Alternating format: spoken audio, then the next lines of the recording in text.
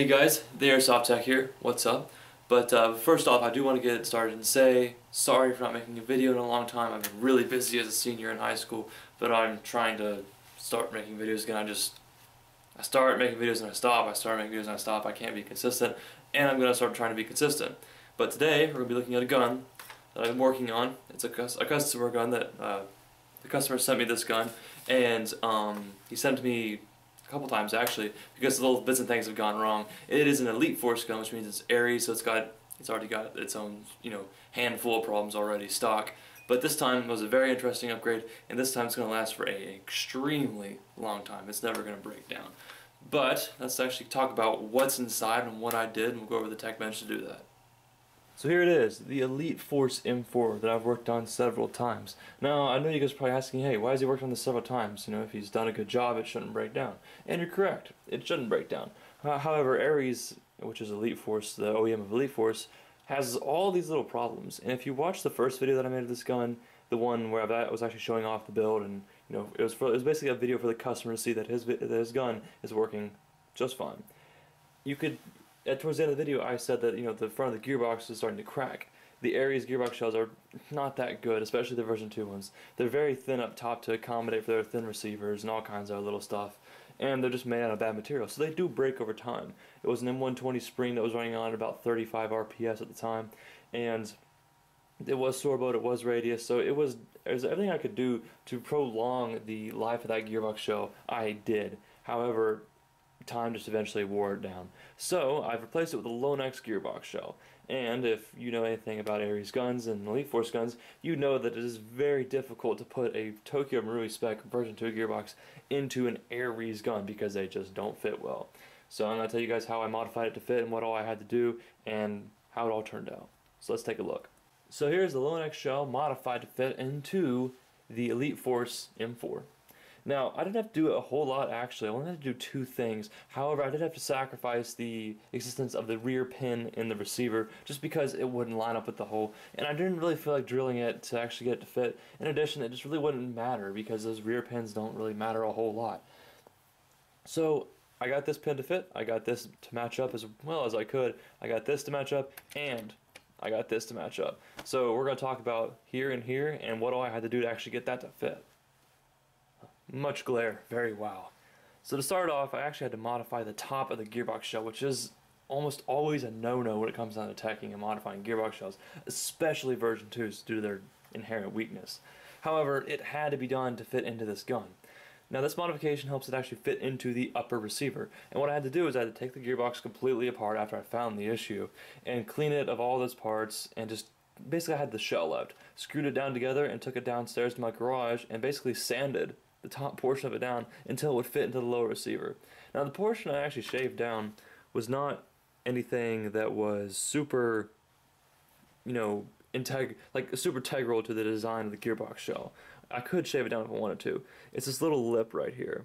And if you can see it, if it would stop glaring, then that's really all I shaved down. It's not a whole lot and doesn't do much to add to the strength of the shell. However, we are still removing material that, you know, we're not adding a circle or anything, so we're not really decreasing stress. We're technically adding just a little bit. However, this little bit is, you know, completely negligible just because of where it's placed at and that this does have AOE correction, so it does have that bumper there.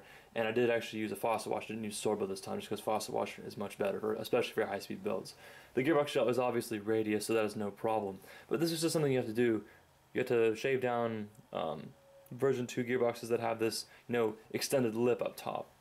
I'm not exactly sure why Lonex does it. I've seen some gearbox shells that don't have it, like G&G and JG. Sometimes they don't have it. However, this one did have it, so like I said, I did have to shave it down to fit, and it barely fits. I shaved down, you know, the little, the the, the least amount I had to to actually get it to fit. So I did do the best I absolutely could, and this is how it came out, and it did come out just fine. So let's take a look at the last part.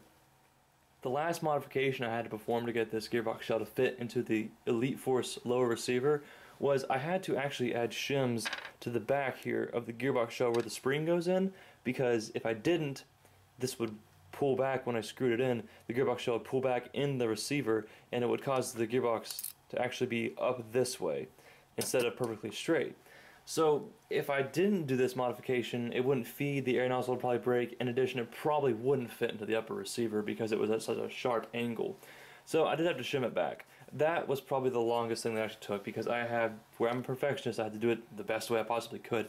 And I used a shim similar to this thickness and actually shaded it down with a Dremel, made sure to where it fit absolutely perfectly. And this gearbox shell is laser straight inside this receiver. So there's absolutely no problem. In addition, it's actually glued down to the lower receiver where it would touch the gearbox shell, so there's no problem there. It won't come apart while shooting, and the buffer tube screw from the buffer tube to the spring guide is installed, so there isn't a problem there. That, that shim is not going anywhere.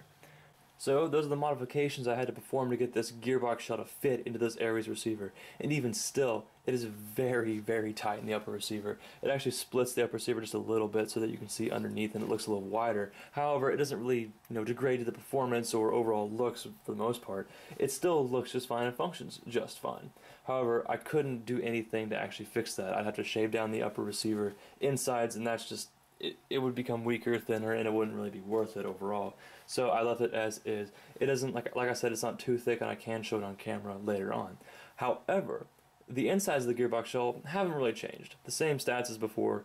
SHS 13 to 1 gears, you know, SHS bushings, SHS piston full stroke on a good sized cylinder, M120 spring, JG piston head, ZCI balance motor, Zollernschar SC MOSFET, one of, one of his first release models, which are great by the way. And uh, that's really about it. Now, going from Aries to Tokyo Marui spec, you have to change a few things. Things we had to change was an SHS trigger contacts. So we had to get some of those. We had to get a actual, you know, trigger that would work in a uh, Tokyo Marui spec gun, as Aries triggers are completely different because they're micro switch triggers. We had to get a uh, Tokyo Marui selector plate, a spring guide that was Tokyo Marui style, and I believe that's about it actually. That's all we had to do. It wasn't really a whole lot, but it was enough to kind of, you know, be annoying. Other than the gearbox inside, other than the gearbox internals, we have a Lonex hop-up chamber with, I think it is an SHS 6.04 barrel. I, uh, the customer wasn't really sure on the brand or the diameter, and uh, if you did tell me, I really can't remember, but it is a pretty nice barrel. I did polish it up and recrown it, so it does look just fine. I have a Lonex 70D bucking in it, and it's flat hops. The whole hop unit is fine tuned. It gets a fantastic air seal, and this gun works perfect for close quarters.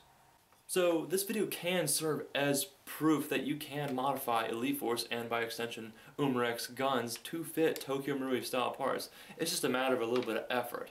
This is actually the second time I've done this where I've replaced the gearbox shell and the hop-up unit in a Elite Force gun with Lonex parts. I actually did it with a G36 a while back and that was a pain in the butt, but it turned out beautifully.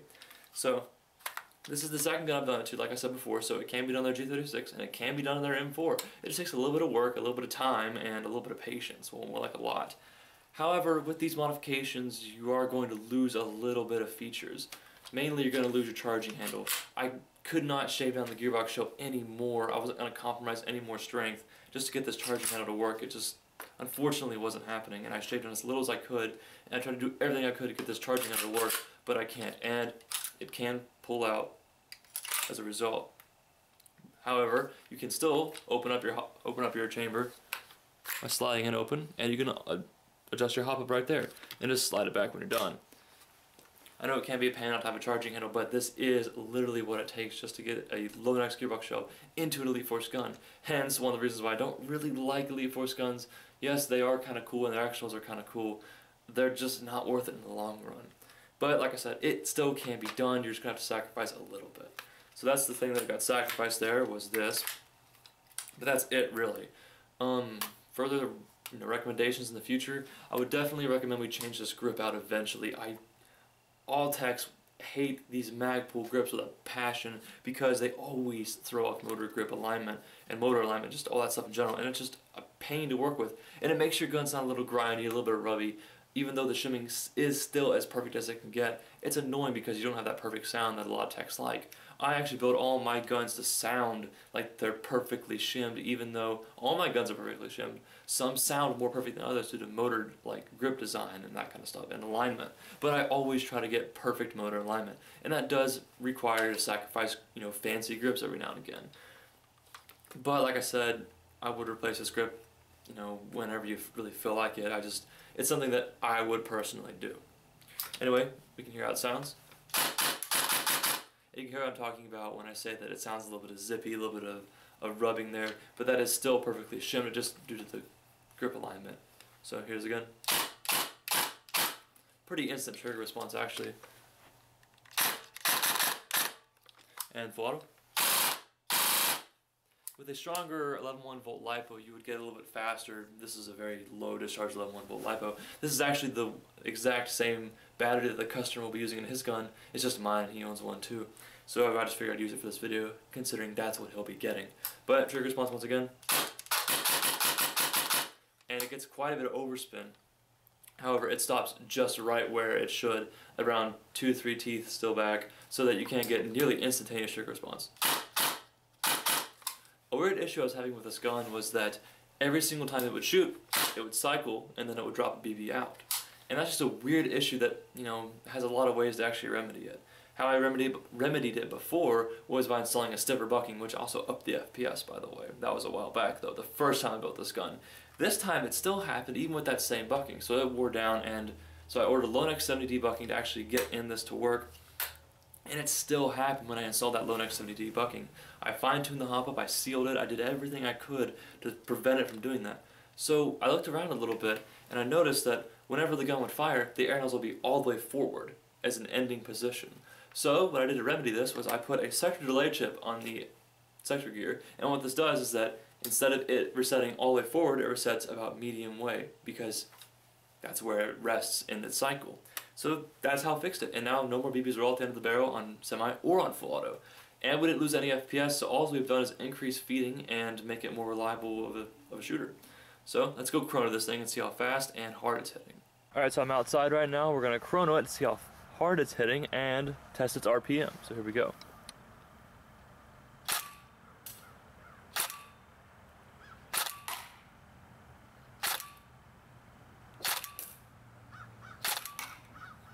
So as you can see, it's getting anywhere between 318 to 322 FPS.